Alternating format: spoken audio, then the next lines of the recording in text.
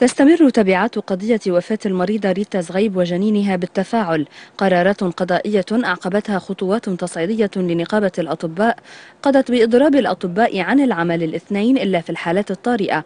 وذلك احتجاجا على رد قاضي التحقيق إلي حلو طلب إخلاء سبيل زميلهم الطبيب موسى أبو حمد لعدم اكتمال التحقيق.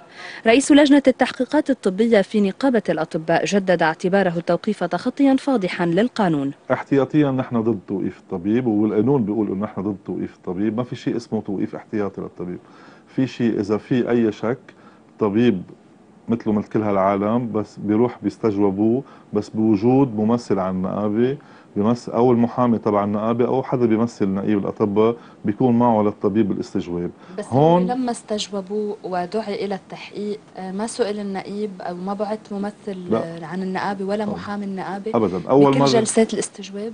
لا مدام أول مره أول مرة نهار الجمعة بعد الظهر يعني من تقريبا من تسعة أيام الجمعه بعد الظهر بمخفر جوني ما صار في ما كان في وجود للنقابة ابدا. مشان هيك نحن بنعتبر هيدا الشيء الليغال ومش قانوني.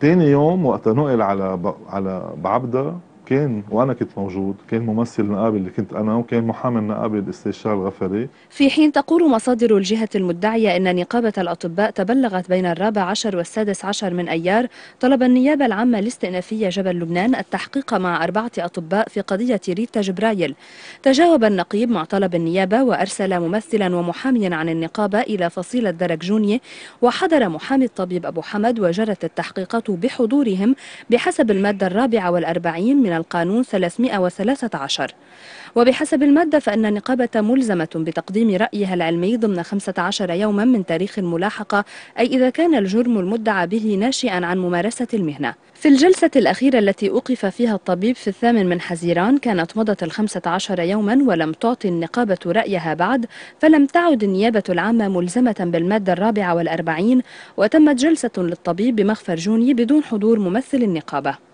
النيابة العامة طلبت أيضا تشكيل لجنة طبية لإعداد رأي علمي آخر يشكلها القضاء. بس القضاء أنه إذا ما أخذ برأي لجنة التحقيقات وأهم أهم لجنة قضائية طبية بلبنان بمين بده يأخذ؟ يعني لمين بده يعيط؟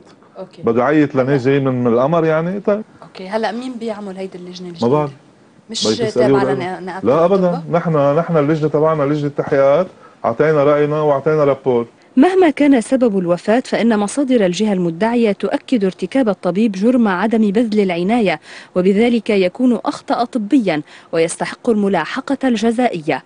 والنقابة ترى في الأفق تدخلات لا علاقة لها بالقانون تؤثر في مجريات